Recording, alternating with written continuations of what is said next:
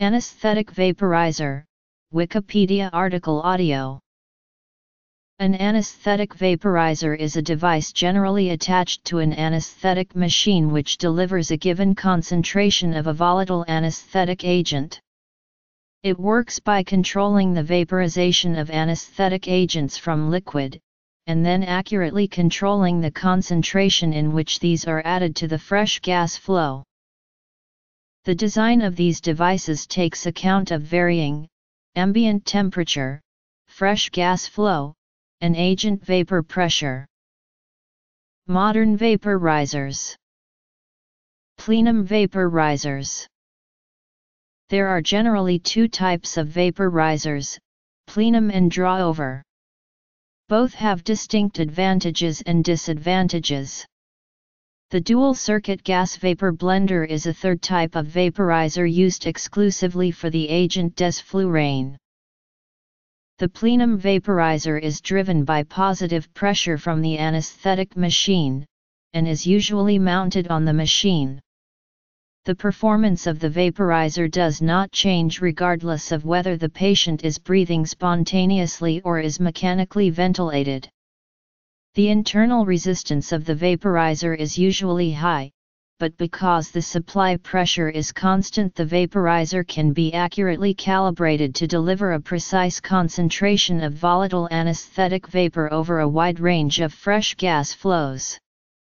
The plenum vaporizer is an elegant device which works reliably, without external power, for many hundreds of hours of continuous use, and requires very little maintenance. The plenum vaporizer works by accurately splitting the incoming gas into two streams. One of these streams passes straight through the vaporizer in the bypass channel. The other is diverted into the vaporizing chamber. Gas in the vaporizing chamber becomes fully saturated with volatile anesthetic vapor. This gas is then mixed with the gas in the bypass channel before leaving the vaporizer. A typical volatile agent, isoflurane, has a saturated vapor pressure of 32 kPa. This means that the gas mixture leaving the vaporizing chamber has a partial pressure of isoflurane of 32 kPa.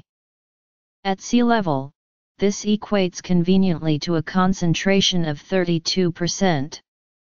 However, the output of the vaporizer is typically set at 1-2%, which means that only a very small proportion of the fresh gas needs to be diverted through the vaporizing chamber.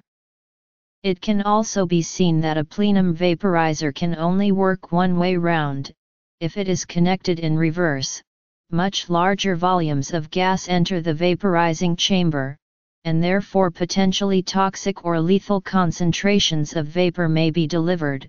What it actually delivers is a partial pressure of anesthetic agent. The performance of the plenum vaporizer depends extensively on the saturated vapor pressure of the volatile agent. This is unique to each agent, so it follows that each agent must only be used in its own specific vaporizer. Several safety systems, such as the Fraser-Sweatman system, have been devised so that filling a plenum vaporizer with the wrong agent is extremely difficult. A mixture of two agents in a vaporizer could result in unpredictable performance from the vaporizer.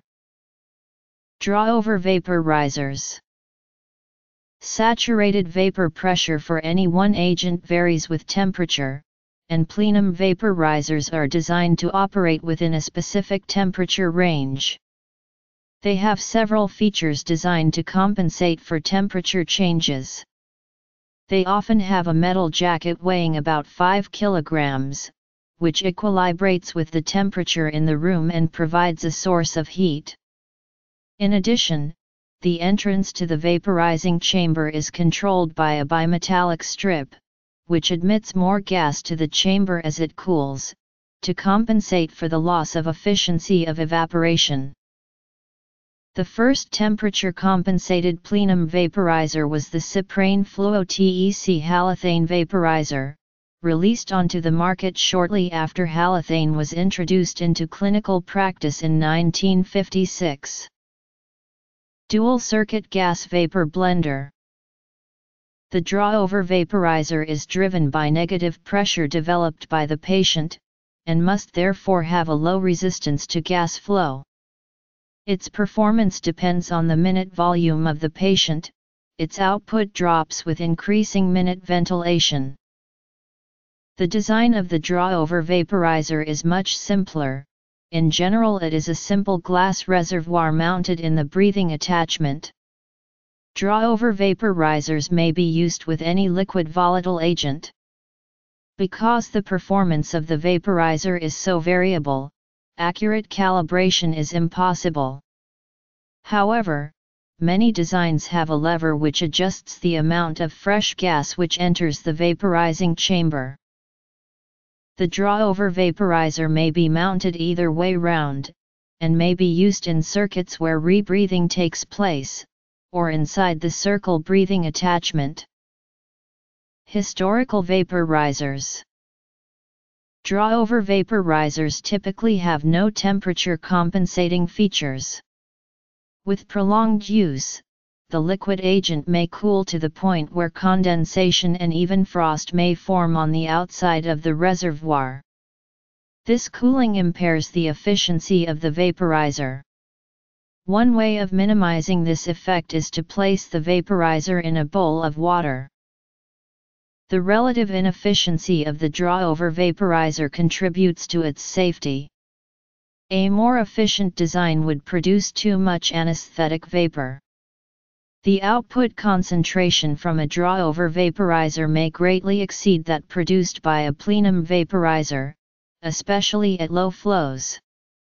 For safest use, the concentration of anesthetic vapor in the breathing attachment should be continuously monitored. Despite its drawbacks, the draw-over vaporizer is cheap to manufacture and easy to use. In addition, its portable design means that it can be used in the field or in veterinary anesthesia. The third category of vaporizer was created specifically for the agent desflurane. Desflurane boils at 23.5 degrees Celsius, which is very close to room temperature. This means that at normal operating temperatures, the saturated vapor pressure of desflurane changes greatly with only small fluctuations in temperature.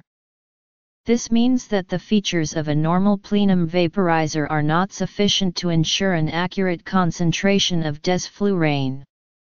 Additionally, on a very warm day, all the desflurane would boil, and very high concentrations of desflurane might reach the patient.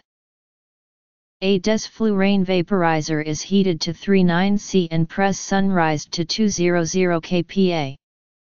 It is mounted on the anesthetic machine in the same way as a plenum vaporizer, but its function is quite different. It evaporates a chamber containing desflurane using heat, and injects small amounts of pure desflurane vapor into the fresh gas flow. A transducer senses the fresh gas flow. A warm-up period is required after switching on. The desflurane vaporizer will fail if mains power is lost. Alarms sound if the vaporizer is nearly empty. An electronic display indicates the level of desflurane in the vaporizer. The expense and complexity of the desflurane vaporizer have contributed to the relative lack of popularity of desflurane, although in recent years it is gaining in popularity. Historically, ether was first used by John Snow's inhaler but was superseded by the use of chloroform. Ether then slowly made a revival with regular use via Curt Schimmelbusch's mask, a narcosis mask for dripping liquid ether. Now obsolete, it was a mask constructed of wire, and covered with cloth. Pressure and demand from dental surgeons for a more reliable method of administrating ether helped modernize its delivery.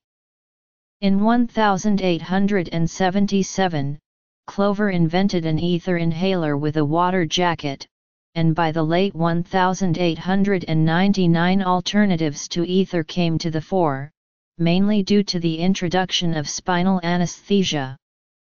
Subsequently, this resulted in the decline of ether use due to the introduction of cyclopropane, trichloroethylene, and halothane.